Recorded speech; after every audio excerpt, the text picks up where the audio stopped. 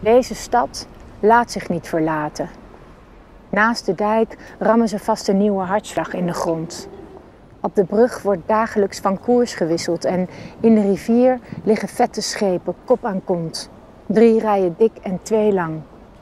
Joris knipt vast de rode lampen aan.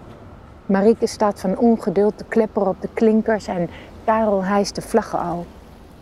De stilte kan niet veel langer volharden en deze stad laat zich niet verlaten.